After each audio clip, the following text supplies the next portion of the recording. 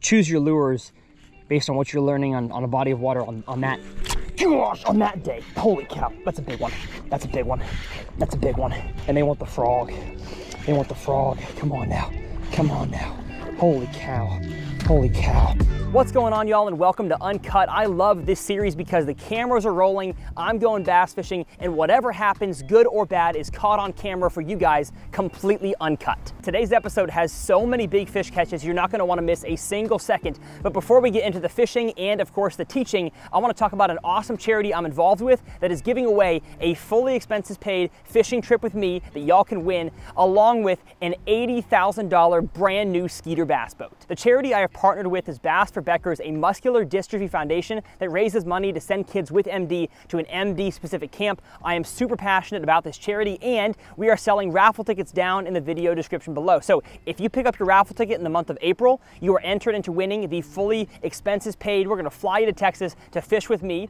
Or if you don't win the, the monthly prize of April and you buy tickets in May or June, July, they have awesome monthly prizes as well as the yearly prize, which everybody is entered into, and that is a fully outrigged brand new Skeeter bass boat. In today's economy, probably worth like $90,000. We're trying to raise as much money as possible, and so if you can, get yourself a few raffle tickets down in the video description below. Now, let's talk about today's conditions. Today, I get the chance to fish an awesome private lake that a subscriber of mine, Mike, invited me to, and let me tell you, there's some big bass in here. It is springtime. The bass should be active, shallow, and feeding, and so I got here early in the morning and started my day throwing a topwater, the Mock Baits Patroller. This bait is fantastic for covering water and finding good groups of fish, but after about 10 to 15 minutes, I didn't get a single bite on the Patroller, even though I knew there were bass in the areas that I was throwing it. And so I decided to make the switch to a topwater frog, and that's where we're gonna begin our uncut. Gosh, there he is. Yes, sir, get in here. Get in here. What a way to officially start the uncut portion of the video. Look at that. Popping pad perch, top of the mouth, probably a little male sitting on a bed up there, I'd guess. Beautiful little farm pond bass. Okay, so like I said in that little intro there, made a whole bunch of casts with the patroller, didn't catch nothing, and that was like my third cast with the topwater frog. So uh, you know what? It is the spawn. It is the spawn, so I need to fish. Uh, need to fish that area again in case there's a female, a female bass. But I'm not gonna catch it with a, with a cast like that. Oh gosh, or a cast like that. Come on, Tyler. Come on now. There we go. Check my. We good? Yeah, we are good. Just as I had imagined, these fish are shallow. At least there's a few fish shallow, but they might not gosh, holy cow. Okay, well, maybe that's that's a different fish. So maybe that was not a bedding fish. That was just a little group of fish sitting on this point here. Cool, yeah. That one's half the size there.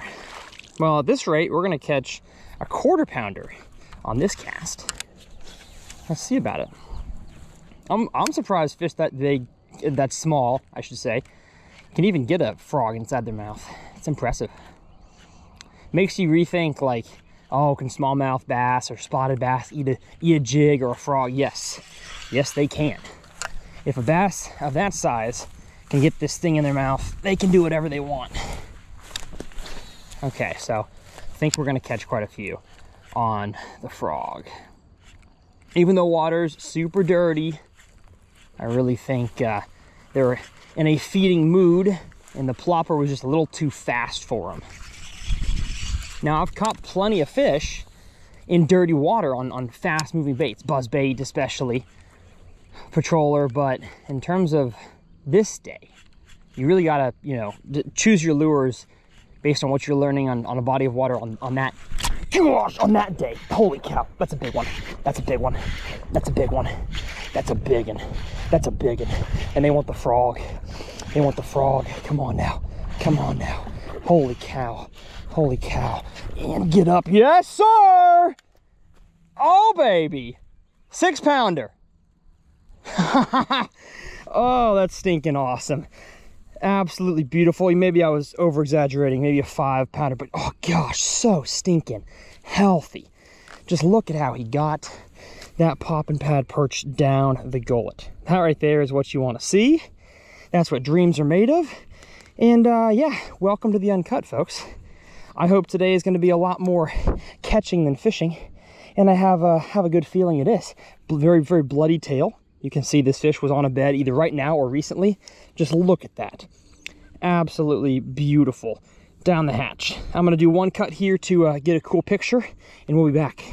Well, in the effort of getting this fish back in the water, and I'm not to weigh it, but I think it's five pounds or so, and there she goes. Swam off with some vigor.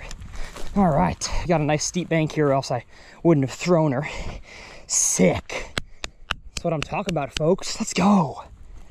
Let's stinking go. You know, I got to cut again to collect myself. All right, folks, we are back. Might as well give uh, give another cast over there.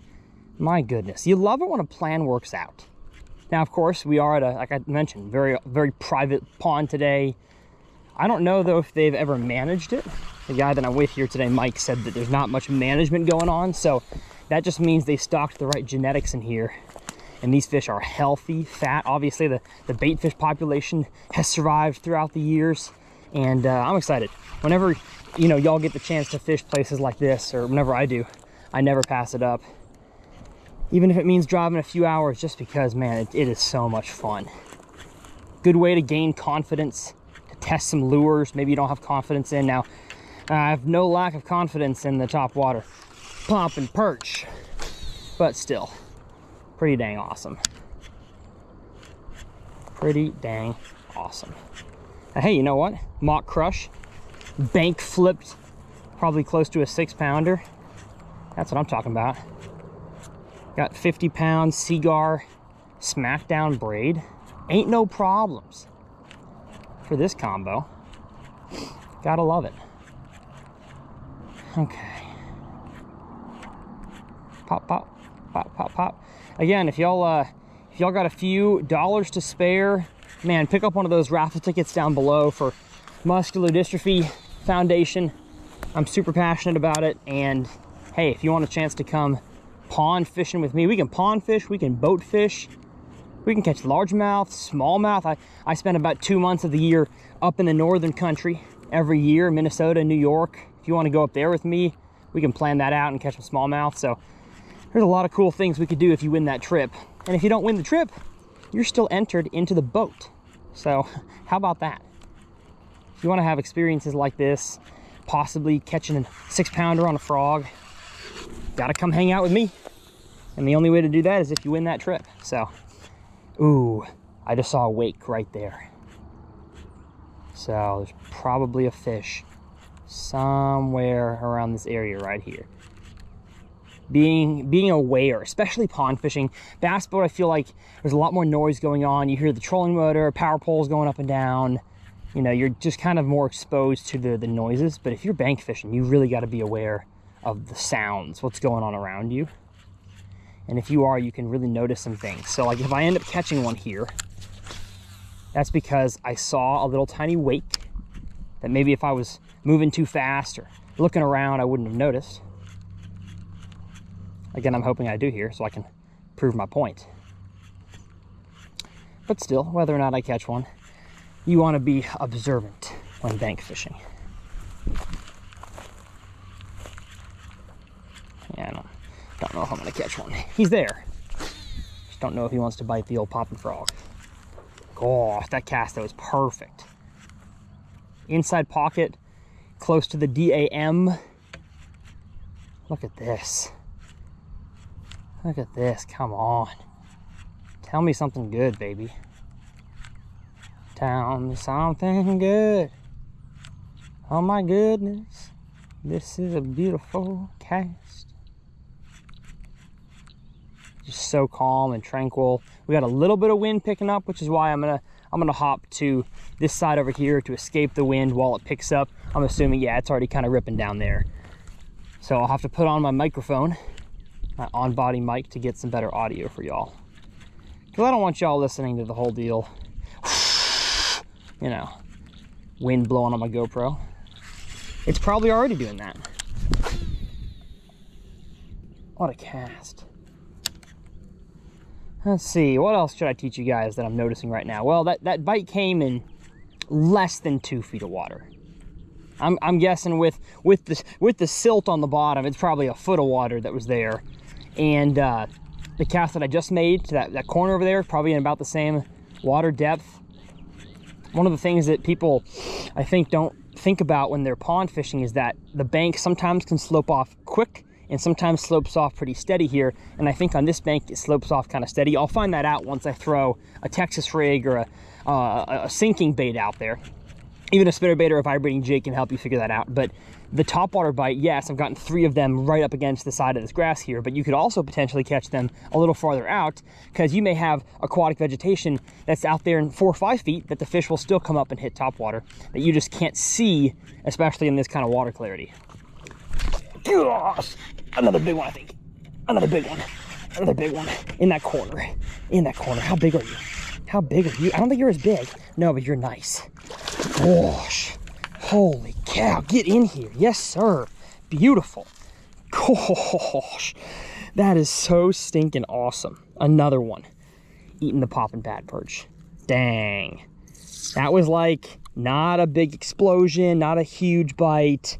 That's why I think the patroller was not the right call for the beginning here. These fish need, he's got a little bit of a wonky tail there. These fish need something a little bit slower, but they're still willing to hit. Just not at a, a mock speed, you could say.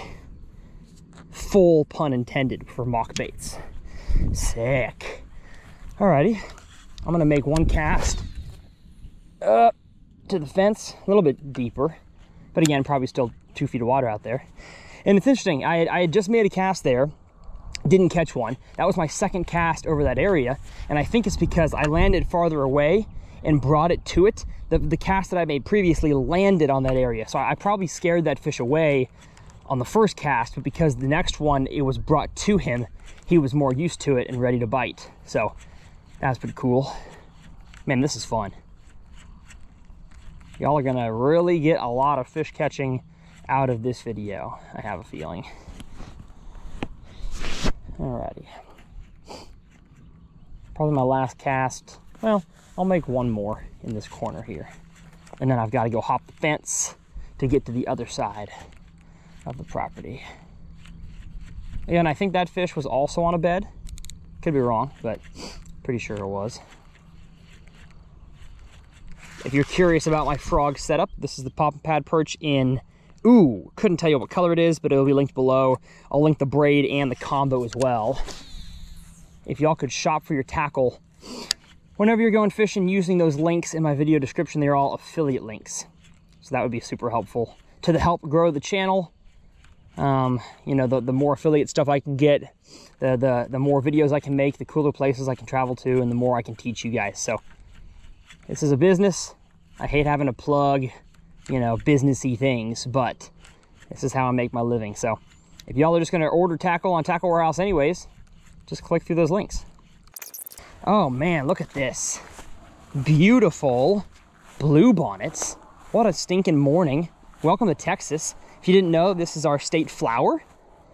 Blue bonnet is gorgeous. Obviously, these people here have, have seeded their property throughout the years, and that is, that is gorgeous so stinking cool. Look at this. I mean, I want to fish a pond one day that is just covered in these things.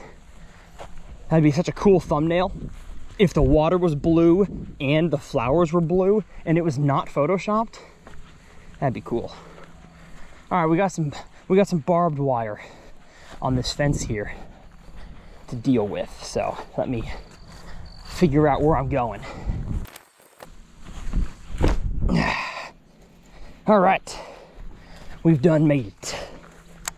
Man, hopping barbed wire is always a scary experience because it's so easy to like catch your shoe or your pants on it and then man, you're you're torn up. But we've made it. We've made it to the DAM. I say that because I, I don't want to get in trouble with YouTube for saying a quasi bad word, even though it's not a bad word in this connotation. Now, I talked about the banks sloping, uh, the angle of the slope. It should definitely be a little bit steeper of a slope here, so I'm for sure gonna make sure my casts are close to the bank. But also one thing that's good about these areas is that sometimes the uh, the the bottom is actually a harder composition because in order to build the pond, they've got to have something hard, gravel, rocks, sand to to keep the water in. So I've caught many a spawning fish on DAMs before. And I think I'll catch some on this one. It looks like we have some fence posts that come from this fence here and run along that. So if I hook one across the fence, it's gonna be a, a wild fight. Now that cast there was a little too deep. I was kind of in line with the fence. I think I need to be in line with the grass edge. Oh, Gosh, oh my goodness, hello. See, right as I got along the grass edge, got myself a little bass. Cool. Love it. Love it, love it, love it. See you, buddy? Somebody keep track in this video of how many fish I catch. I think that's five. Pretty sure. Pretty sure it's five largemouth bass. Oh, what a beautiful cast. What a beautiful cast. Oh, yes stinking gorgeous. Again, I'm, I'm doing top water here while we got the conditions. If you can see on the other side, it is already sunny over there. And not saying top water can't work then, but man, especially when it's uh, dirty water, you got super shallow water. I think these fish kind of want to want to hide. Although, you know what? Now that I say that, it's probably not right. Dirty water is probably more hideable uh, from the sun than clear water is. So I may I may keep the top water around especially if I keep catching them, but just kind of general tip. A lot of ponds, once that sun gets up, the top water bite is, is non-existent. Holy cow. Gosh, holy cow. What a strong fish, dang it. Oh. Well, can't win them all. Did y'all see how that fish dogged me? Holy moly. That was insane. Got to blow the water out of this bad boy. Okay, so they're here these fish are here, thousand percent. And I'm not even gonna focus on the fence line. I might come back and focus on that with a worm or a creature bait once the sun gets up. Gosh, dang it, man. Gosh, what is going on? How am I losing? I mean, like, Frog is plenty sharp. He just, I probably didn't wait long enough.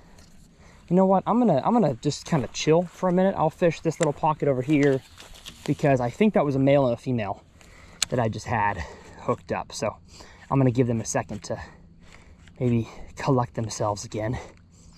Because I definitely stung both of them. Gosh, that's so much fun. This is awesome. Like this is the time of the year to fish a pond like this. Dirty water, spawn, especially a pond like this that has that has obviously lots of fish. Now, bad cast, Tyler. Just gotta kind of reel it in slowly. Not scare nobody. Okay. Make a cast over there. Great. Check my GoPro. No water on the lens. Great. And I'm just gonna fish it really, really stinking slow. Man, I'm like, I'm setting the hook and these fish are taking me off to the side. Come on.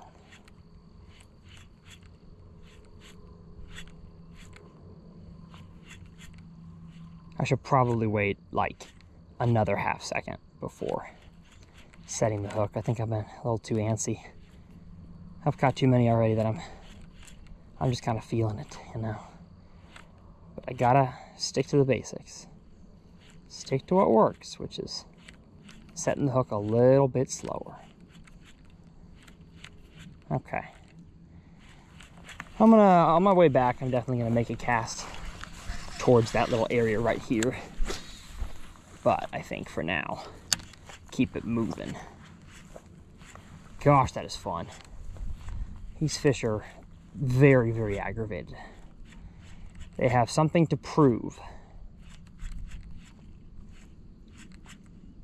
Seems like they either get it or they don't. Like they either like have it gagged way down there or they don't have it but the, the skirts and maybe a little bit of the hook. But the reason why I chose this color frog for this water clarity is because it's black. Again, the, the top color has almost no purpose. The bass don't see but the bottom and the skirts. So I picked a black frog though, black bottom, because of the dirty water and low water uh, visibility right now. Even if it was sunny, and uh, sorry, not sunny, even if it was clear water, we still have a shade line right here, so the fish can't see as well. Can't differentiate colors, but black helps it stand out more, more contrasty. At least that's what we've always been taught. So, seems to make sense to me. On cloudy days, I've always done better on a, on a black frog. Just my own personal experience with that.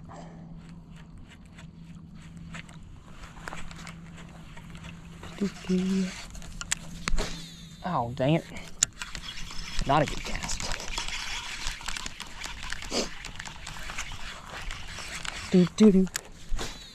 There we go. Cause I could see you move a little closer, close. Girl, I gotta get to get to know you. Everything about you. I'm not sure why that song is stuck in my head. I have not even listened to it today. But you've been looking over here all night. Looks like somebody been making some some moonshine up in here. Depositing their jars from the police. Ooh, ooh, ooh, I just saw a fish bust and I literally made a cast over where that fish was. Come on. That was like the luckiest thing ever. A fish bust as I made a cast. Come on now, eat it. Give some bigger pops. See if you want bigger pops. No. He does not want bigger pops. Ooh, I in my last uncut, I said that I was going to uh, to try to call my shots with top water, like three, two, one, explode. Let's try that with this cast. First, I'm gonna get the water out if there's any water in it. Nope, no water, we're good. Okay. Three, two, one, spoosh. And splash. Skadoosh. Okay, now we'll try it on some other uh, some other high key casts. But obviously that guy didn't didn't want to play with my prediction game. I'm just kidding. Three, two, one, go! Oh, man. Now, one thing I'm realizing is that I should have worn better shoes than my Ultra Boost. Now, they're junky shoes. Like, they're two, three years old. They've lost almost all their insoles. But they're not very tight. You know what? I'm probably to tighten them here in a second after I catch a frogfish in three, two, one. Man, because my feet are kind of slipping as I walk along this bank. Man, there's a fish right in here. I moved the frog and I saw a wake go the other way. But I gotta tie my shoes, folks. It's, yeah, there you go. Okay. Shoes are tied back to fishing. And we are losing our shadow line, folks. There's the sun coming up. Uh-oh. Uh-oh, he says. Let me get a little higher on this bank. Man, I tied this shoe way too tight. I'll deal with it. Hmm.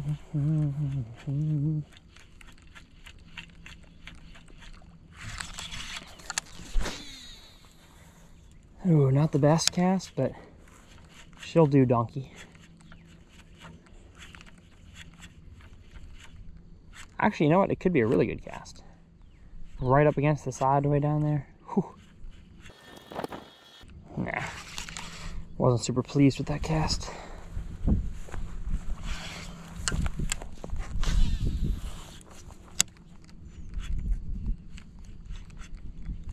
Kind of interesting. The the the more centered I've got on the DAM, the less bites I've got. I bet you it's the deepest here And there's just, gosh, I was wrong. I was wrong. I was so wrong. Holy cow, big and giant. Okay, okay, there we go. Not a giant, I was wrong. Still a three pounder, two and a half pounder. It's just, you, you just gotta find the fish. I guess it's probably not too deep here. But if, if I was to guess in the spawn, yeah, most of them, if they're gonna be spawning on this area, they're gonna be in the corners. But it doesn't mean you still can't catch a few. And again, like I was not working the frog very fast at all. Working it pretty slow. It's at this point that I would ordinarily retie after this many fish on a frog. I guarantee you a few of them have kind of frayed up the braid. But mama didn't raise no wimp. And I just forgot my scissors at the truck. So just kind of one of my one of my strategies. I make a big loop with the top water with a reaction bait. I probably should bring my backpack with me just in case something goes bad, but Mama also didn't raise the smartest tool in the box. And that's me. I think once we get to the, the sunny side, if I don't get a bite on the sunny side for a number of casts, we'll we'll do a little speed ramp of me walking back to the truck, collecting my tackle bag, probably getting my Sony camera as well, and then really starting to dissect what's underneath the water.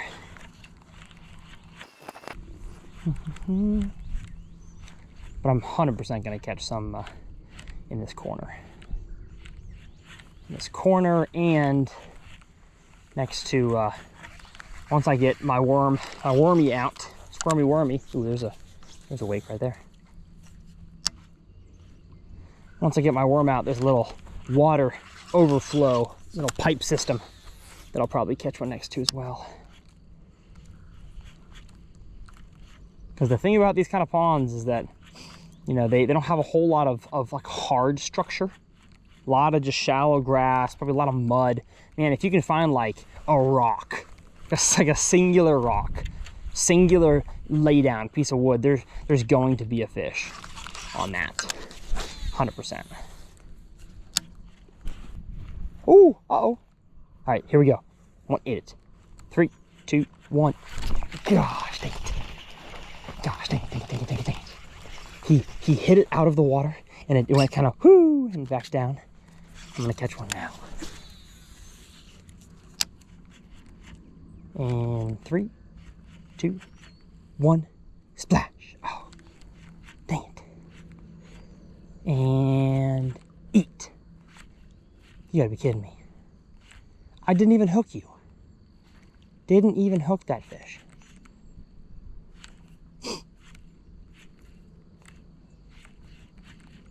See, that's a scenario there that if I was in clear water, especially if it's sunny outside, I'm I'm going back maybe once with the frog, but more than likely going back with a, a Texas rig or a wacky rig, probably an Ocho, because that fish is still there. I did not sting that fish.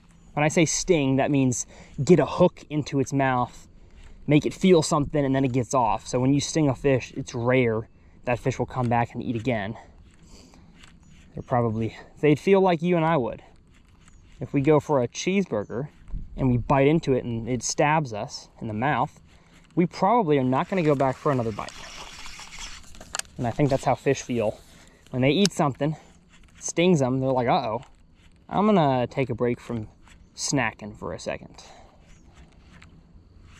But I did not sting that fish, so that's confusing. Obviously, he's still here, just doesn't want to bite.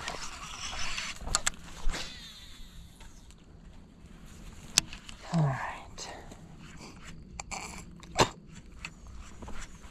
Welcome to TRF Uncut, where I'm singing and spitting all the day long. And sniffling. Sniffly nose for some reason. If you enjoyed this video, hey, hit that subscribe button. I'll show you guys a graph here on the screen. This is how many people on my last Uncut that watched it were subscribed. Yeah, shocking. How many not subscribed people? So if that's you, you're watching right now, you haven't subscribed, hey, if you enjoy it, hit that subscribe button. My goal, you know, in these episodes is really to entertain, but teach as well. teach kind of in the moment. But a lot of my other, you know, videos, the 10, 15 minute videos are just, you know, jam packed to the best of my ability with instruction and teaching. I want to help make you guys better fishermen, better anglers, no matter where you live. That's why I travel across the country to catch fish. Yes, it costs money. The expenses are big, but I want to catch fish in Minnesota and Iowa and New York and Ohio, Florida. There's one. Gosh, holy cow. Holy cow. Gosh. Dude, these fish are like on another level. On another level. Holy smokes. Okay. And I want to catch some farm pond bass. Because a lot of you guys out there do have access to really cool farm ponds and you want to know how to how to dissect them. Because when you can do it well, when you can dissect your bodies of water well, that's why I, I teach from everywhere. Not just a bass boat guy, not just a bank guy. I try to do it all to really help you guys understand your bodies of water better. And I think we're putting on a frog fishing clinic today. So smash like. Smash the like and subscribe if uh, if you're enjoying your content. Let's see. I'm gonna I'm gonna make a cast by this dang thing just to see. It actually it could be shallower than I think, but nah, it's probably not. Probably kind of deep. Fish don't want to sit there on top water. They're on the bank right now. Fish are on the dang bank. Now, one good thing I've noticed about this fence line here is there's no actual fence. It's just the posts. So when I get a fish and he runs toward the post, I just got to worry about keeping him away from individual posts, not the actual like barbed wire because it doesn't exist, which is helpful. Because that fish, that last fish dogged me right into that area that I would have lost him if that was uh, barbed wire. Yep, we are reaching the end of the shade here. This little corner has a little bit left. Not a whole lot. I think I'm also going to catch one in this corner. It just looks beautiful. And I'm, gosh, holy cow, holy cow. I did a good job waiting there. I did a good job waiting there. Yes, sir. Yes, sir. Let's go. Chill, chill, chill, chill. Hey, stop it. Stop it, buddy. Gosh. Four pounder. Stinking four on the popping perch. And I got to get an Instagram story with these fish. This is unreal. There's my other Instagram story I took of the of the six pounder. Save that one. Got news for y'all. These farm pond bass are eating the pad perch today. I save a lot of my Instagram stories to my camera roll and post them when I'm off the water. That way I can get back to catching fish. But absolutely beautiful. That one kind of like torpedoed out of the water for it. Gosh, gorgeous, gorgeous fish. Eat the camera. Bloody tail. Look at that right there. Fish was on a bed or was before. See ya, buddy. Sick. Sick nasty. Had a feeling I'd catch one here. And I don't think that's going to be the only fish I catch on this corner. I think I'll catch one right here as well. Check my camera. We're good. Let's go two casts in a row, baby. Let's go two casts in a row.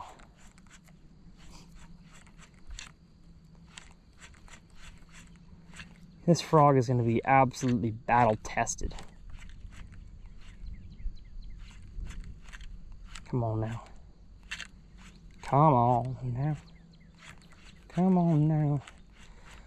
Now I also, you know, fully realize this is a private pond.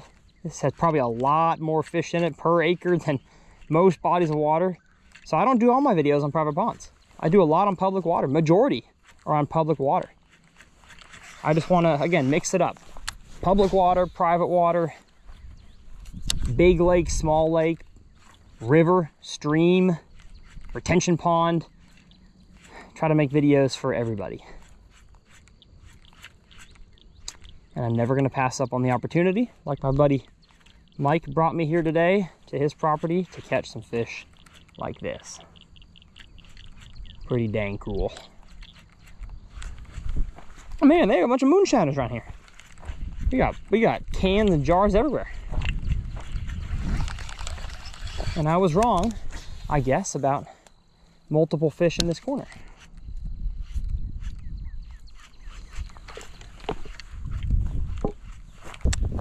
Okay, now we're making casts onto a sunny bank. Let's see. Now, if they're on beds, that those fish aren't moving off at all. And matter of fact, sun would make them even more committed to an area. So I'm, I'm probably not gonna catch any just cruising fish on this side. Oh, gotta put my sunglasses on. Sunglasses in, in this instance are not to see in the water. They're just to protect my eyes. Well, I lied about there being no cuts. I did fish down that entire bank right there. Didn't get a single bite, not even a bite on the topwater frog. So that tells me that well, one of a few things is happening. Uh, the sunlight and the harsh angle of that sunlight early in the morning move those fish off. Uh, B, the fish are not even on that bank to begin with. Or C, they are there. It's just for whatever reason, the fish on that bank don't want to eat the frog when the fish on these banks did. So I kind of doubt that C is the case have more of a feeling that it is A, that the harsh sun angle moved them off. So I'm gonna come back, especially with how windy that bank was. I mean, I even fished a lay down, uh, an overhanging tree. I skipped my frog in there from, from both angles. That didn't even have a fish, which is surprising. Like I would think with the, the, the more water depth that's right there, there would for sure be a fish under that tree, and there wasn't. So I think it's a case of sunlight moving those fish off Bass don't have eyelids, so they gotta hide somewhere. And maybe they, you know, just like we are, our eyes get used to the night and the nighttime. And if you were to just flash the lights on and say, hey, go uh, go play some pickleball, nah, you couldn't do it. So if I try to expect these fish that just got blasted by the sunlight to eat a frog, they might not be able to. So I'll give that bank a little bit of time as I work my way back to the truck here trying to catch a, a few more on the frog. I'm gonna go faster than I went the first time. I'm gonna be honest though, I don't quite remember where the bites were that I lost. I know one was down there in the corner, but I don't remember where the, the fish that exploded twice and missed it. I don't remember where he was. So we're just gonna kind of go faster. But hey, it's possible that the sunlight reaching this bank Gosh, I was gonna say we'll make the frog bite non-existent, but no, there's one. there's one. Okay, beautiful. See that, that, that kind of fish right there, two pounder, such beautiful proportions, fat. You catch one that's a little longer and that you got the, the six pounder that I caught earlier. That's the kind of proportions you want. All right, so either, either my uh, analysis is wrong and the sun is not moving those fish, or this fish just wasn't affected. And I have a feeling that's more the case. But sometimes, that's why that's why I do these uncuts in these ponds so you guys can fully see a fishing day. Sometimes there are just better places to catch fish on certain bodies of water. Certain stretches are going to be better. Certain stretches have, have deeper water. Certain stretches have better grass. Some of them may have where the, the bluegills are, are spawning. That's where the bass are going to be during that time. So just because a pond looks very similar from the sky, from the drone shot, does not mean the whole thing is the same. Because oftentimes what you what you can't see underwater is quite a lot of differences. Sploosh, sploosh, sploosh, sploosh, sploosh. All right, I think that was, I'm pretty sure that fish right there was where I had the bite. I think so, at least. Now, there's also a reason why I work ponds clockwise, because I'm right-handed, so I'd rather cast this way and set the hook this way. I don't like to work places counterclockwise. Just not my best casting angle, not my best hook set angle for sure. Because if I want to work the edge of this grass with whatever lure I'm throwing, right now it's a frog, but if it's a if it's a vibrating jig or a Texas rig, I want to have it on my dominant side. And you could say, well, just throw a left-hand reel. Well, what are you going to do about working working clockwise with a left-hand reel? Then you're going to be backwards as well.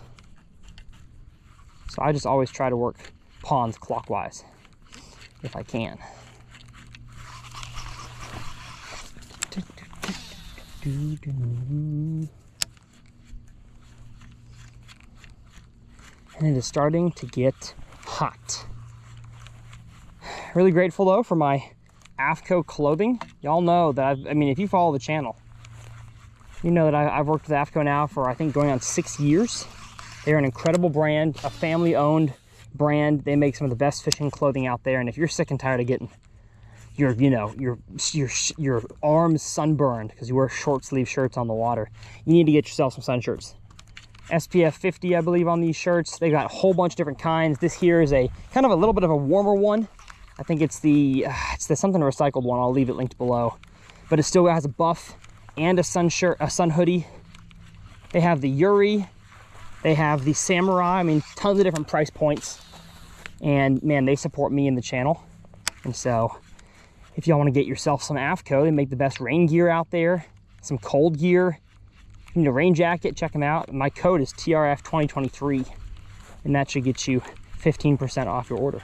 So my merch brand that I dropped as well, Infinite Outdoors, I do some collaborations with AFTCO. And so my winter collaborations is always the Reaper sweatshirt.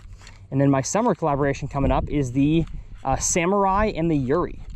So if you want to wait around to get some AFTCO that's branded with Infinite Outdoors, just wait. We got some cool stuff coming. But I'll, leave uh, I'll leave my merch link down below as well for y'all to check out. If you haven't seen the merch, it's got a cool, cool double meaning to it. Infinite possibilities for catching fish and making memories and then a God that I a God that I believe is infinite in his love. He'd send his son Jesus to die for us. So that's what Infinite Outdoors is. I'm super proud of it.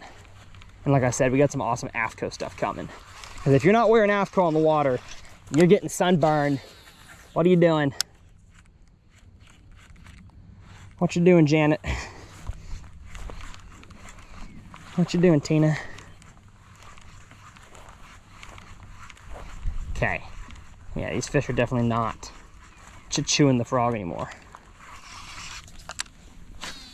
All right, right there is a cast that could result in a fish because I lost two in that area earlier. So let's see. Not as much wind on this bank here. Actually, no wind at all, so I'm not gonna do big pops with the frog.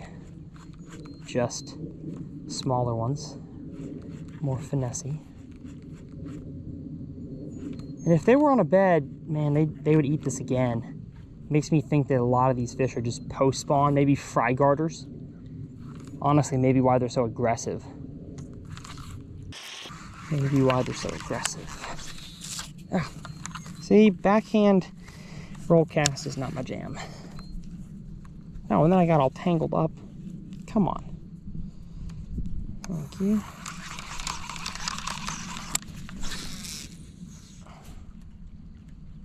A little bit deeper of a cast.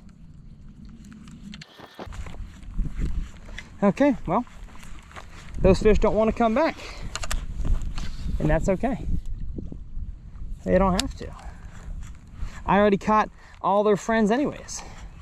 All right, last cast here with the frog in this little pocket and then we're gonna head back to the truck, get re-rigged, put the top water away. I'm definitely gonna grab a, a few rods, spinnerbait, vibrating jig, swim jig. Well, maybe, maybe creature bait. I don't know. I might bring all four. I normally don't bank fish with uh, four rods, but I might until I see what they're biting. Come on, get off of there, please. Thank you. Beautiful. All right, folks, that's it for the frog. What an absolute fun morning. And now I gotta figure out how I'm gonna get across this uh, barbed wire fence from this angle, which is harder.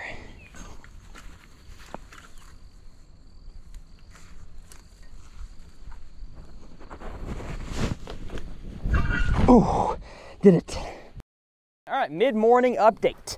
We're back at the truck here, gonna kind of regroup and get ready for some subsurface fishing. So I'm not saying that you couldn't catch one on a top water, but I think that season, that time of the day is kind of over. So I'm gonna pick three lures to take with me as we kind of do the same loop again. Maybe start farther down where I fished the patroller and didn't get any fish on it, because I bet you there were fish there. I just was going too fast uh, to catch them. So I have Outcast Tackle swim jig. This here is the, I believe it's the Pro swim jig in Alabama Shad. As you can tell, beautiful chartreuse and white.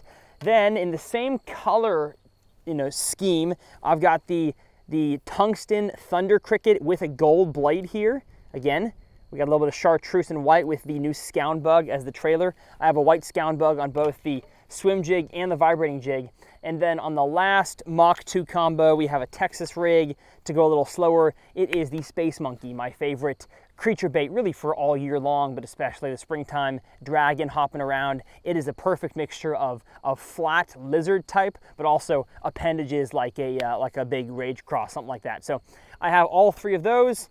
I don't know which of the two moving baits is gonna be best. That's why I'm bringing all three with me. But let's begin part two of Uncut. So we have reached our kind of initial starting spot that we, that we began with the frog, but this time we've got our three different rods. I think I'm gonna start and probably stick with, it's pretty windy as you can tell, stick with the Thunder Cricket just because the water's so dirty, it's getting pretty windy. I'm not sure if the fish can hear or sense the swim jig. We'll still make a few casts just to be sure, but I think the vibrating jig and if we go back by the truck here in a second, I'll probably replace the swim jig that I brought with a spinnerbait. I just, I wanna catch it on a swim jig. I'm just not sure if the conditions today, specifically the watercolor, make that uh, a good choice. So I'm gonna kind of cast around, see if I can't feel if, if there's any aquatic vegetation, any grass out there that I couldn't sense with the frog, couldn't see before the sun was up. And it's gassing, as you can tell. it's getting light, it's getting windy. So I apologize for any wind noise, but hey, wind is your friend, they say. I don't know who they are, but that's what they say. In bass fishing, wind is your friend. Stirs up the ecosystem, gets things going. That's the hope, at least. If it wasn't so snotgrassy, a lipless crankbait or a hybrid hunter could probably work really well. But man, just, I mean, in terms of a, a pond bait all year round. If you don't have a thunder cricket tied on, you're you're doing something wrong. I need to make sure that my audio is going. Is my microphone going? Yes, it is. Okay. Because y'all could not hear me if we were using my GoPro audio, and we're probably still going to have some audio issues. going to take some more audio work for sure. Man, you can't tell me there's not a few fish willing to eat all thunder chicken. It's at this point in the video that I don't have a whole lot to say really. I'm kind of fishing slower, dissecting a little area apart, then moving my stuff another 30 yards, then dissecting that area. I mean, part of the reason why I'm, I'm doing it this way as well, oh gosh, there's one, there's one. Yes, sir, yes, sir, biggin, biggin, biggin, biggin. Okay, okay, perfect. That's what I'm talking about. That's what I'm talking about, baby. Yes. Yes, yes, yes, yes, yes. Oh, oh, gosh, he just got water all over the lens. Let's clean that off here for a second before we show him to the camera. Oh, come on, what the heck? There we go. Beautiful fish right there. Again, though, super blown out. I apologize. That's the part of being a YouTuber that's more difficult. Look at that fish right there. Gorgeous, gorgeous. Three pounder probably. Absolutely choked. Thunder, Thunder Chicken. And that was like right next to the bank. Again, right next to where I'm at. So I'm gonna definitely take my time. May have to do more speed ramps in between fish catches uh, to make this video not too long, but that's kind of what you gotta, what you gotta do is if you're fishing a brand new body of water, cover water to find fish. Like I know there's fish on this bank and on the, the DAM, and so I'm going to, uh, I'm gonna kind of spend more time making some fan casts in these areas. You know, if I didn't have this big camera, if I was just rolling chest mount, I might still go pretty fast with just a vibrating jig. But I think in terms of getting good content for you guys, going a little bit slower, making some more fan casts around the area is probably better in terms of this video. So that's the plan. Hey, comment challenge. It is comment challenge time. That is when in the video I give you guys something to comment. And so today's comment challenge is going to be where is your dream fishing location? If you want to go abroad, do you want to go fishing in Spain? Do you want to go to Brazil for peacock bass? Do you want to go to uh, Antarctica to catch Arctic char or trout. I don't, I don't know what your, your fishing dream is, but whatever your dream location is, leave it down below. In the comment section, I'd love to hear where y'all want to fish.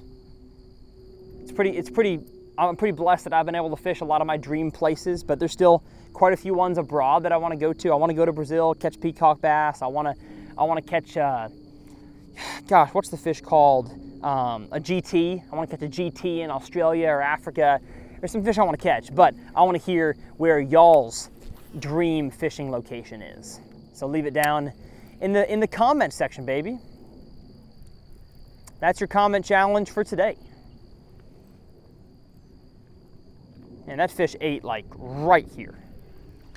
Fish ate at the bank. Kind of clues me in a little bit though. Like if I if I catch one more fish near the bank and I make fan casts out there to the middle, it's not worth my time on the rest of the spots that I stop at to fish out in the middle. So I'm still gonna make quite a few, but just to try to pattern, I'm probably not going to uh, fish unproductive areas once I discover what the productive locations are in terms of depth range from the bank. I think that's one thing a lot of people mess up on, especially pond fishing, is you catch a few and you don't think about how you caught them. You don't think, man, that bite came right next to the grass or it came on the drop off or next to some sticks. You just think, oh, great, I caught one. Well, there's probably a pattern there. And if you can put it together relatively quickly, you'll be efficient throughout the rest of the day. And again, I put together the pattern of the frog really quickly. And now I'm trying to put together a pattern of the vibrating jig. So I've made quite a few casts in this area. Let's pick up our stuff and move down the bank a little bit. And this is an uncut, so you're getting me, uh, you're getting me walking. Hello. How y'all doing? Getting me walking down the bank. Good angle, perfect. All right, again, beginning the fan beginning the fan cast toward the left, going the center, and then going back to the right. Let's restart this clip. Uh-oh, I just realized I was not recording my chest mount for that entire thing. So I guess y'all didn't see any of the uh, ch chest angle. Apologize for that. Gosh, it's gotten windy. Wind is picking up. Is that one of your family members? No. Okay. All right, I know I promised no more cuts, but there was another cut. The property owners on that corner over there came and got their John boat, and they're gonna try to fish from uh, the John boat with no paddles or trolling motor in this wind. So good luck to them. But we exchanged the swim jig for a Fire Tiger colored spinnerbait. Honestly matches the Mach Crush rod pretty well. And the rest that's uncut, I'm really gonna focus on this section here and the bank that I didn't catch any on on the frog because I just, I'm telling you guys, there's gotta be fish there and I'm excited. I feel like the best is yet to come in terms of uh, finding an area and catching, you know, a few back to back to back. I think we're going to catch some big fish here. So stay tuned. Don't go nowhere. The uncut begins again right now. There's just always distractions and people calling me. So I always say uncut. It's not totally uncut all the time. And man, it is blowing. That wind is going right now.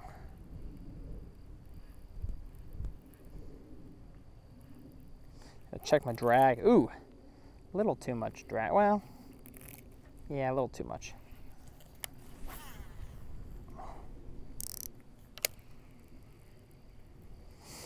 All right, come on, fish. Eat the old spinner jig. Oh, that was a bite. Gosh, there he is. There he is on the spinner bait. Either a different fish or that guy came back for it. Let's go. Let's go. The corner's got some fish. Uh-oh, almost got hooked. Beautiful. Not a giant, but we'll take him.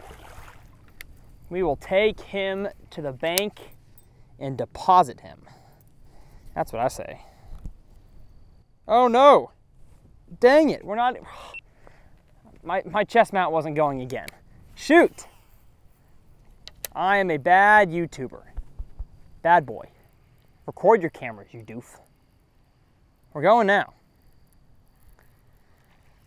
Not that we really needed the chest cam angle of a two pounder. But we're going now. It's one of the hard things about this job is that I've got to keep cameras rolling and, and worry about that. I mean, I wouldn't have, I wouldn't be able to be fishing on, you know, Friday. I guess like a lot of guys fish on a Friday, but most of the time I'd be, you know, working a desk job if I didn't have this job. So I'm never going to complain, but it is a challenge sometimes to get everything on camera. It's not always easy. Get it, get the lighting good, get the audio good, sync it all up. But you know what? If I didn't focus on all that, I couldn't be fishing for a living, so I'm grateful. Grateful to you guys watching. If y'all didn't watch these videos, I wouldn't have a job. So please watch, share them around with all your buddies. If they like bass fishing, maybe they'll like me too. I don't know. I hope so. Come on, I feel like I feel like Bill Dance over here, just throwing a spinnerbait in a dirty water pond. That's all that brother did for years and years. Probably, probably still all he does.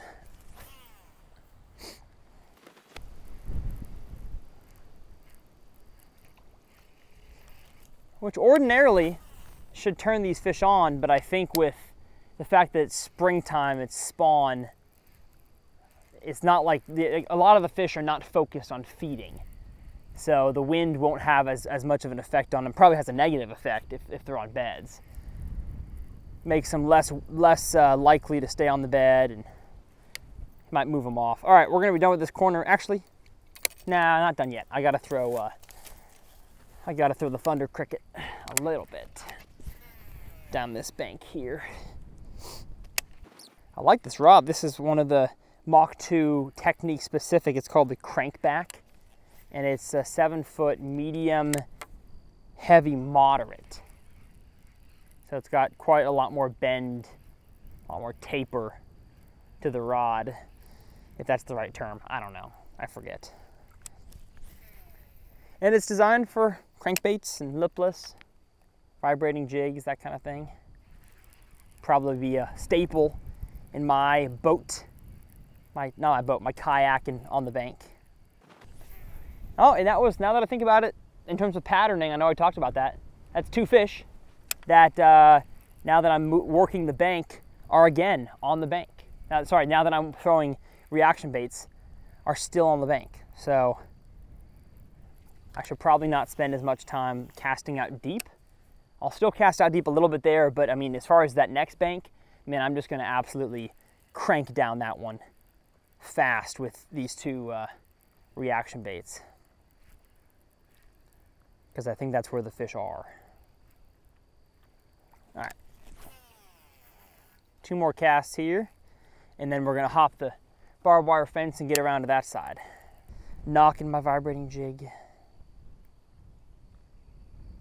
Yeah, He don't want this bait. It was really shallow anyways, it's like a foot deep. It's even, even shallower than I had thought it would be. And maybe I'm lying this whole time and it's just a stick on the bottom, but it feels. Oh, okay. I was wrong. It's a stick. It's a stick. When I went really slow, I felt my, my lure climb over it. It's a stick. Like in the Grinch when he's throws the, throws the fake stick and Max runs and he says, there's no stick. I'm smarter. All right, last cast here.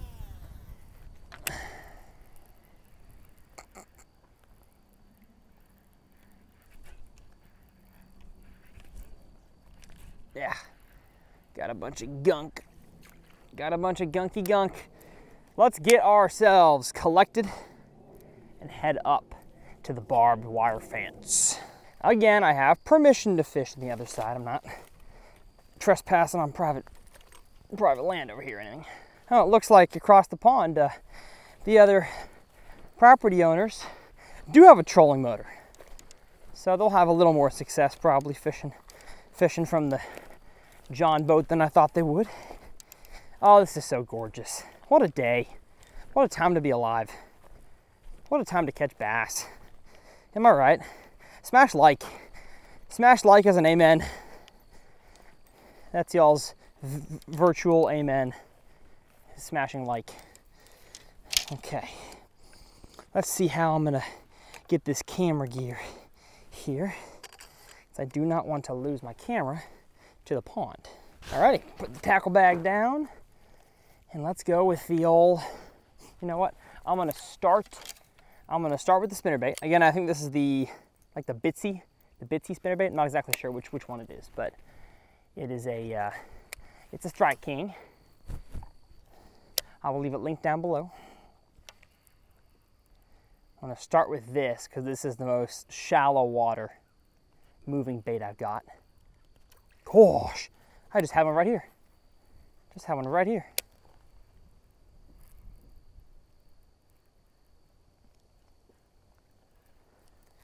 You know, I just keep, if I get a bite, I want to throw a creature bait back there and get him to bite, you know? That's what I want to do. I feel like I should be able to. He fish knocked it twice right here. I just I can't imagine the fish, you know, kamikazes it and then peels out of here. Just feel like they've gotta stick around. I'm also gonna put my buff up and my hoodie. I would like to not get sunburned. And man, it's just so like this is my, my least favorite type of lighting is this. Bluebird skies, wind. It's just so harsh. Everything's so blue and white. Mm, I want to jack one in the jaw right now. I'm feeling it. I'm getting I'm getting jittery. I want to jack one in the jaw with my Texas rig.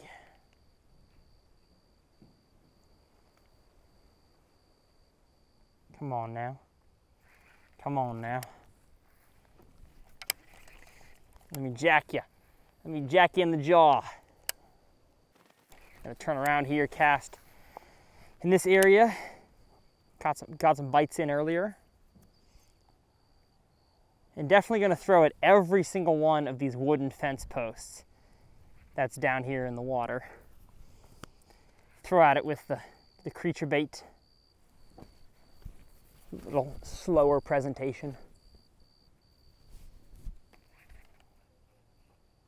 Gosh. Yeah, I was jacking him. I almost jacked him in the jaw. He just got off, didn't have it very well, but he thumped it and was swimming. So that makes me excited. Makes me really excited. I like that. Am I too close to the camera here? Maybe. I'll kind of back up this way. All right, come on, fish. Come back for it. Got him. Gosh! Yes! Jacked him right in the face. Right in the face hole. Get in here, baby. Yes, sir. Yes, sir. Jacked him in the face hole. Oh, well, you got the camera all kinds of wet, buddy. Thank you, though.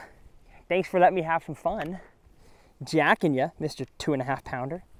Thank you, buddy. Yes! Let's clean off my lens. Y'all probably can't even see much of it, but it's a lot of water. Oh man, I'm excited. That gets me pumped. Catch them on a Texas rig. Sheesh, brother. Sheesh, brother. Let's go. What line is this? 17? Yeah, 17 pound Seaguar InvizX.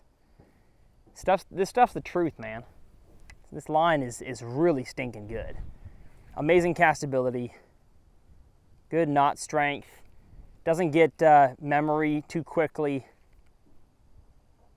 A big fan of 17 pound InvizX. Mmm. I'm also a big fan of bass, big bass, and jacking their jaws. Let's restart these clips. Big fan of jaw jacking. That's what I like. Uh-oh, someone's calling me. Alton Jr.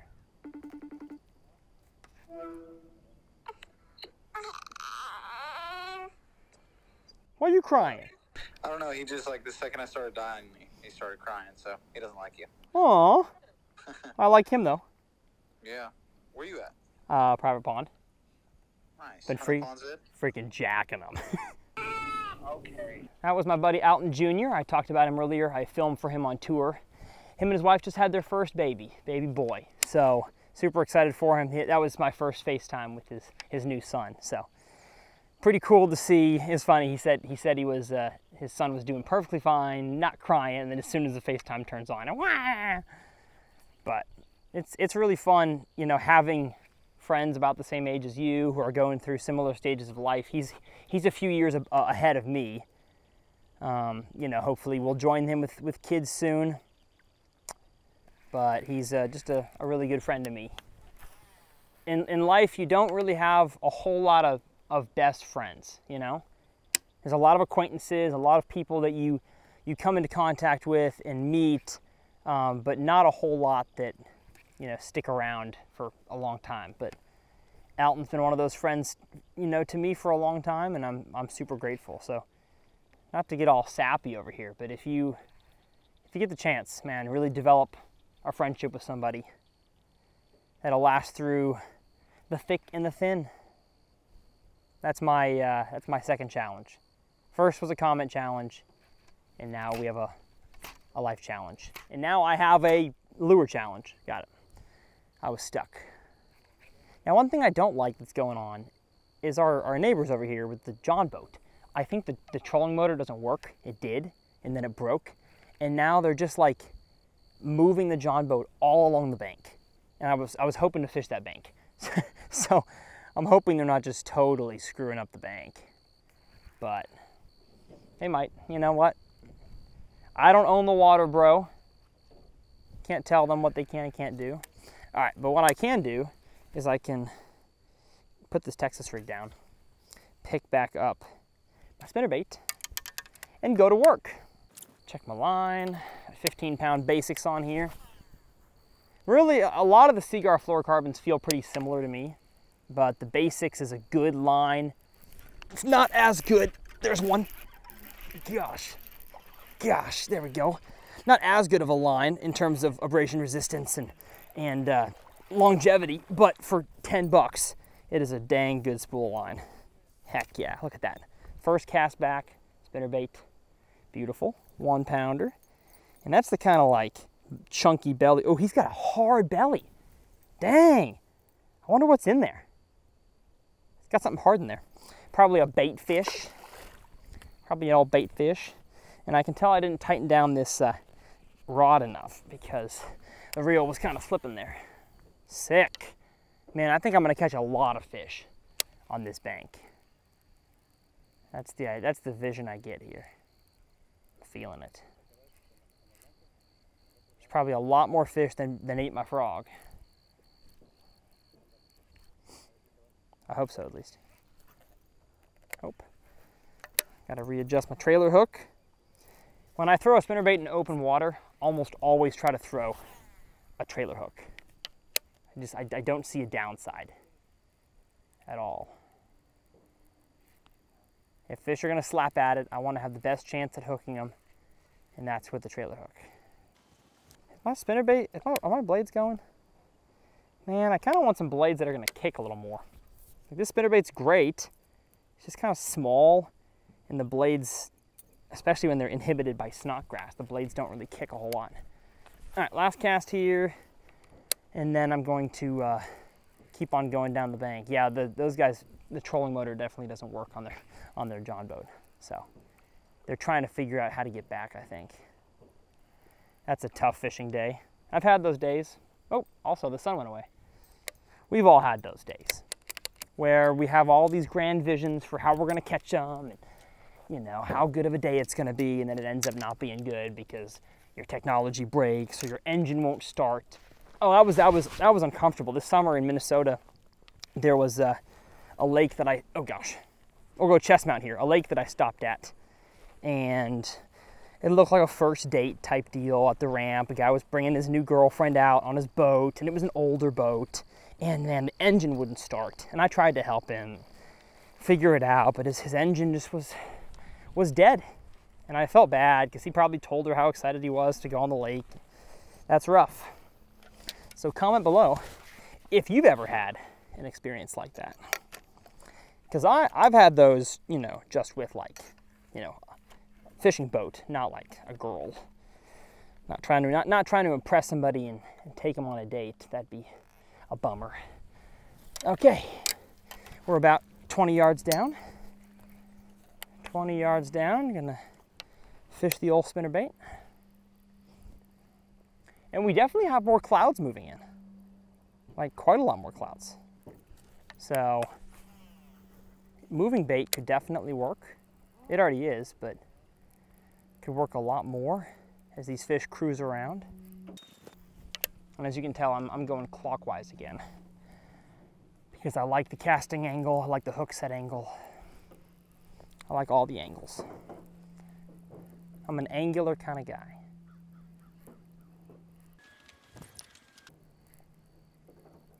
Gosh, I just got thumped. I just got thumped, which means it is officially creature bait time. Mm, not the best cast, I don't think.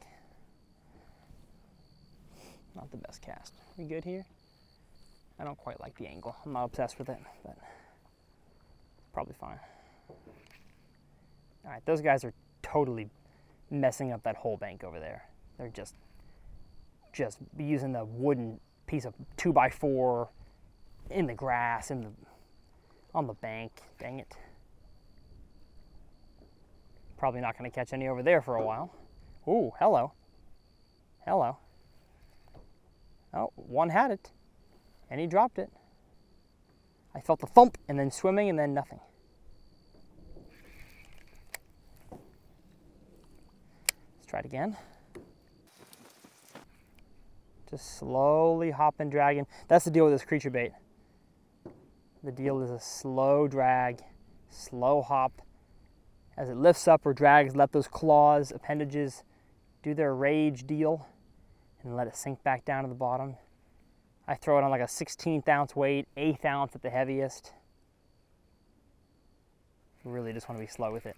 Well, I'm surprised that I didn't get a bite there. I didn't didn't hook up because there was definitely at least one fish. One fish on this little bank here. Maybe I should have gone back right after with the spinnerbait if, if I knew exactly where that fish was. What are these guys doing? They like pushed the John boat out to try to start it, and now they're walking down the bank with it again. I have no idea what they're doing. I'm not gonna lie, filming an uncut, dragging a creature bait feels a lot slower than, than fishing a frog. It feels like time is going by way slower. But time's the same. Time ain't changed.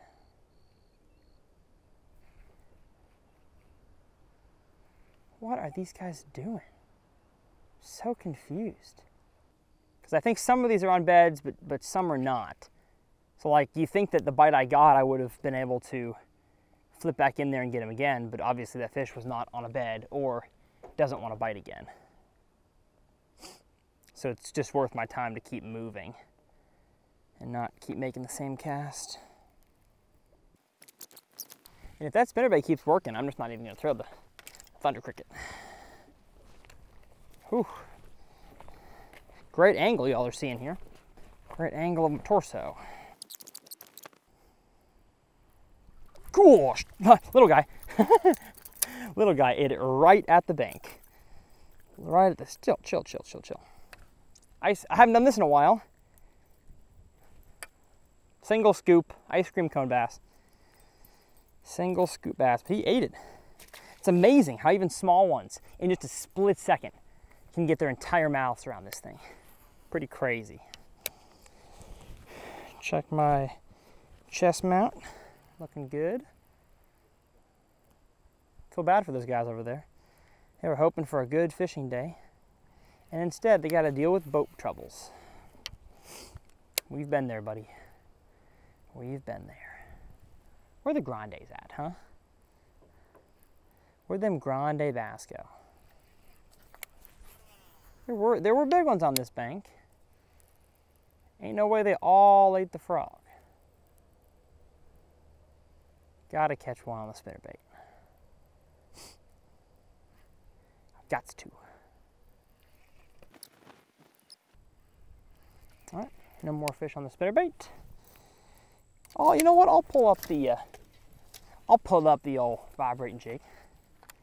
Give that a shot. See what we're dealing with here.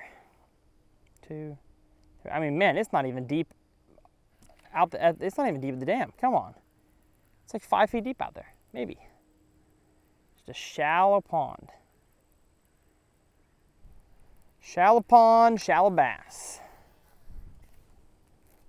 Some of the most fun ponds, honestly, are the, the shallow ones. Because you know that you can go power fish all you want. You can throw a lipless, you can throw a vibrating jig, oop, and a fish just chased right here.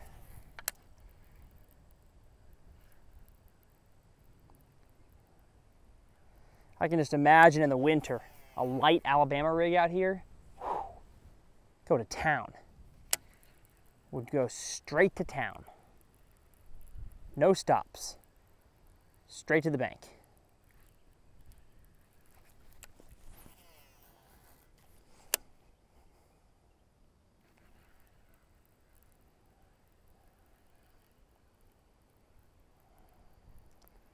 Yep, there's for sure no fence that I can tell in between these posts, which is nice.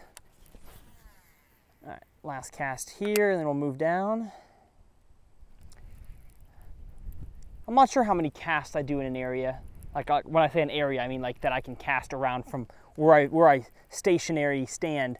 Um, that, that didn't make sense.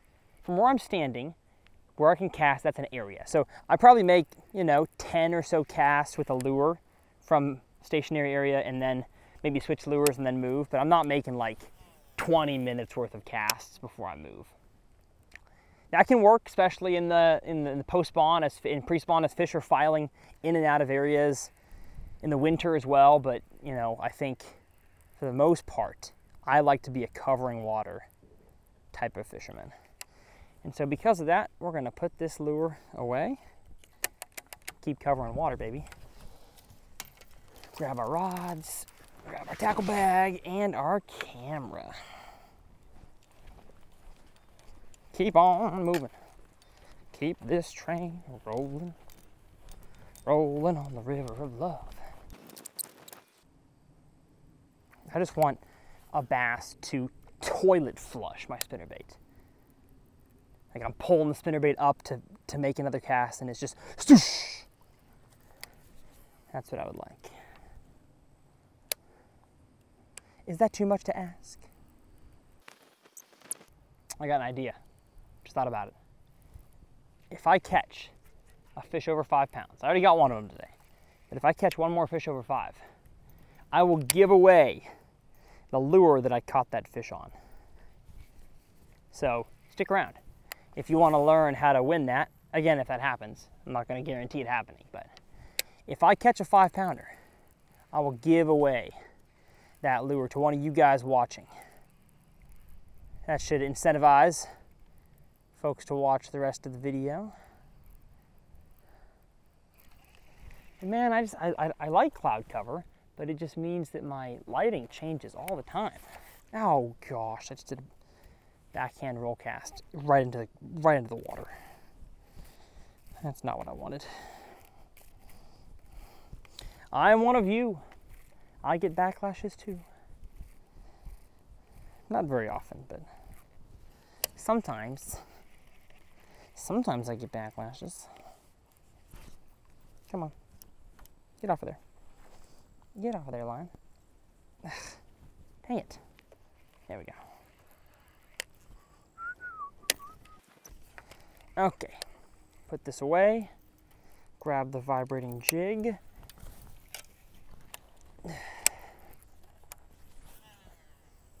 make two or three casts with this and then a cast or two with the Texas rig. But this, I remember this section of the dam here, I did not get many, uh, many bites. So I don't think many bass live in this little section here. And that's one thing that I've learned, that at least on this day, they're not in this section. So if I come, if I was to come back to the same pond in my neighborhood, or if I was to come back to this pond and I learned where the fish were gonna be, I'm not gonna waste my time fishing this little area. Now, I'm not saying that can't change, that can change for sure over time. But I've patterned this body of water for these conditions during this time of the year. And right now, they're not right here. So this will be my last cast right here. Yeah. Pull it on in, let's move on down.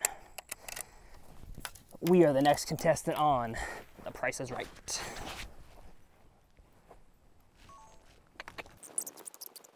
Tackle bag down, spinner bait up.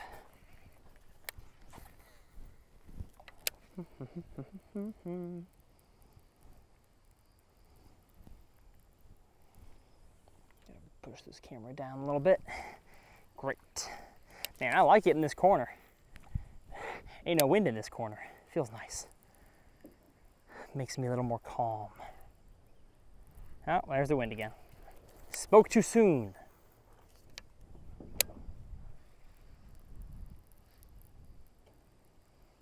Spoke too soon.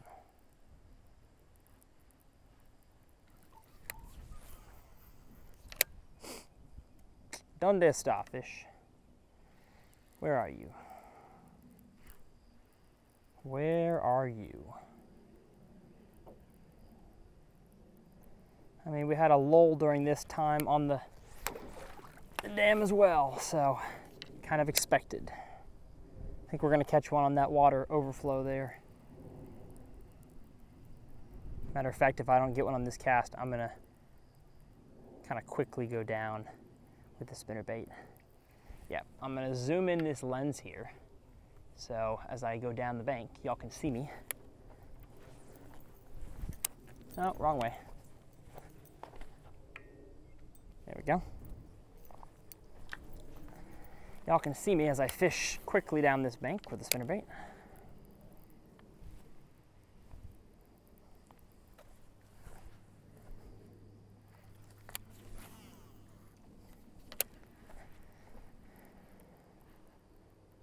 And I really just want to miss one on the spinner bait.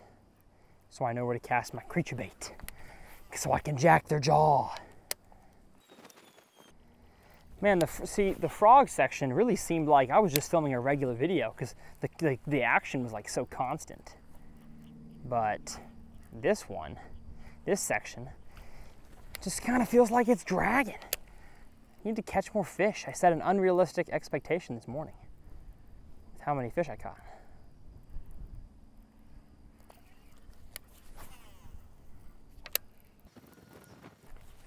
Oh gosh, dang it.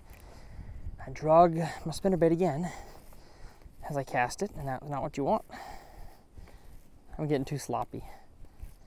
Too many forced fumbles.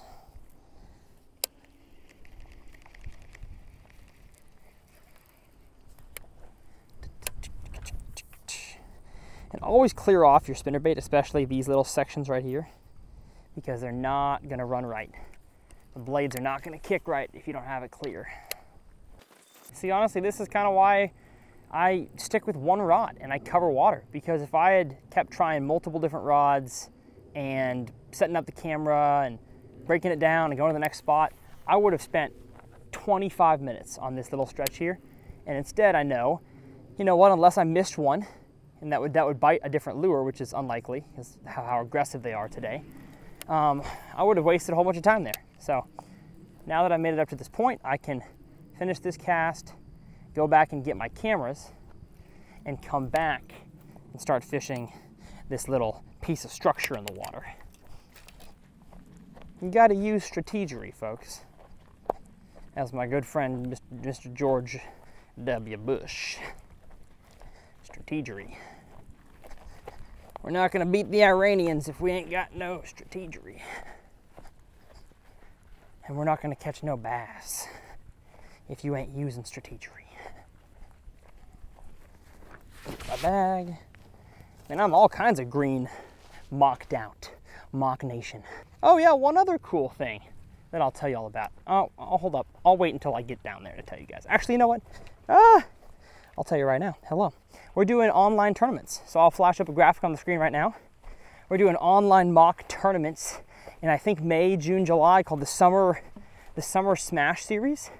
And you can compete against me. They are free to enter on, on Fishing Chaos. They're all length based. We have a five fish limit one. We have a uh, every fish counts one. And y'all can literally sign up, compete against me and all the other mock YouTubers, Mr. Mr. Noah Pescatelli, Mr. Adub, Fletcher, some other guys.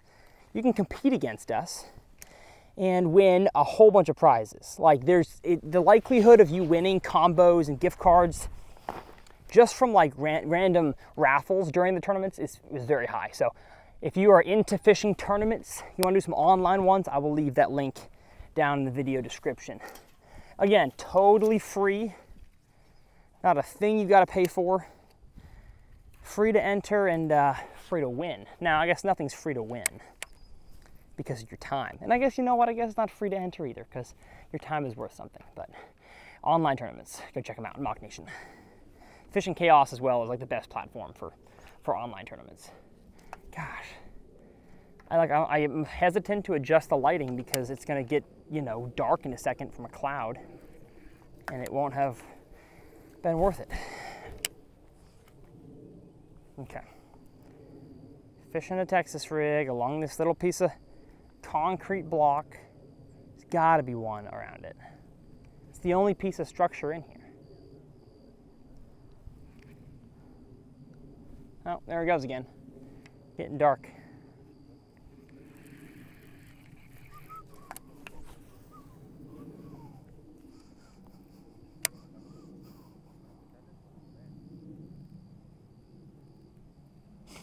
Let my bait sink. I think it's deeper out there actually. I think this might be the deepest corner right here, which makes sense. That's where they're that's where they're drawing water from whenever they used to do that. So makes sense this is the deepest pocket. Just slow drag, slow hop. Can't overstate how slowly I drag this thing in the spring. Wind makes it a little hard to feel.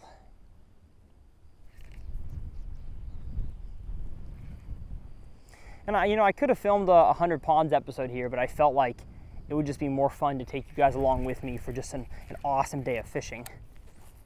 And you know, there's a risk. There's a risk to that. If I if I don't film 100 ponds and I film an uncut and it's a bad day of fishing, I basically wasted it because, you know, I could make an uncut with like two catches, but that'd be that'd be boring. There wouldn't be a whole lot to talk about, a whole lot to teach, and so uncuts are kind of risky. If, if the fishing day is bad it's hard for me to turn that into just a regular video. You know, otherwise, if I did 100 ponds, that can just be one of the ponds in the in the video, one of the two or three.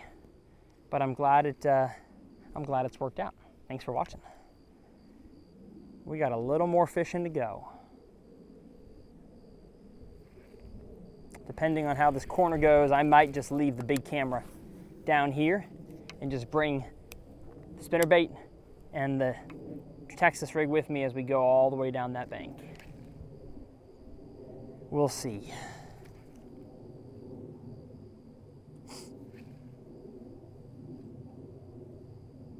Come on now.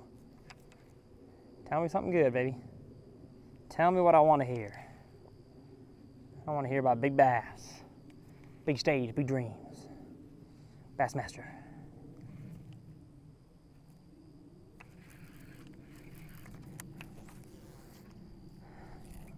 They're not on that thing. I was fully expecting to get a bite off that, but I did not. But then again, I've been patterning and they're on, they're shallow. So what am I doing? Trying to do something else.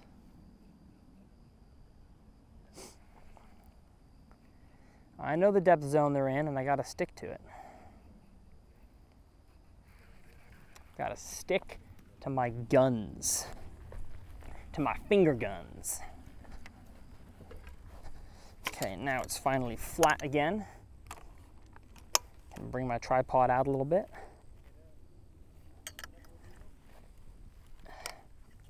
Was really surprised that like the vertical structure, all these poles, didn't get a single bite on any of them. It's very odd. You think these fish would be clinging to anything they have in the water. But today, they're not. Come on, man. Eat it. Okay, well. Man, they're just not, they're not as active as they were this morning. That's a bummer, dude.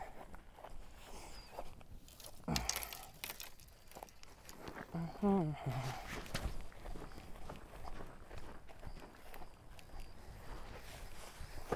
Put my bag here, grab the spinner bait. Let's go ahead and make a few fan casts around this area here.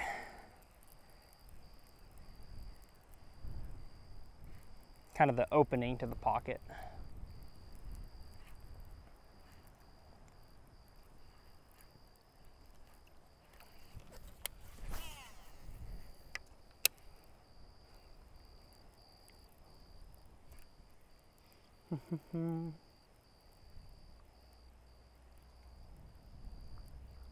Come on, I just want to feel a thump. Thump and he's fighting. Thump and he's swimming.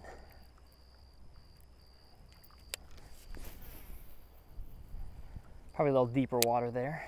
Two, three, four. Yeah, five feet. Gosh, man. It's just weird. This doesn't this doesn't make any sense. How there's fish there and there, but on the shallow stuff, not here. It blows my mind. It blows my mind enough that I think I'm to do what I said I was to do, which is leave the big camera here and just go exploring, just, just as fast as I can. Because I'm not here to waste y'all's time, and I'm not here to waste my time either. And so I don't want to. I don't want to keep fishing slow, if if that's not the deal. That's not the juice. So I'm gonna actually just bring the vibrating jig and the creature bait as well as the pack of creature baits. We're gonna turn this camera off. Be back, be back here for the outro, but uh, take this sucker with me and beat the bank. And I, I'm taking the vibrating jig and not the spinner bait, I think because I can cover water a little bit faster with this. Just a little bit faster. Still catch them shallow, I think, but I can fish faster.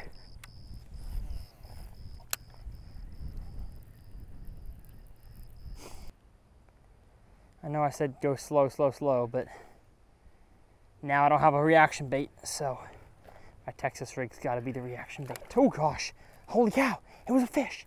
It was a bass. There was a bass here. No way. Got him, got him. Yes, sir. Yes, sir. Yes, sir. Get in here, baby. Okay, so we got down to some, some better looking bank that wasn't so shallow, a little bit steeper. Let's go. Just a few casts in with the Texas rig. Got us one, baby. Okay, that gives me confidence for this next 100 yards here.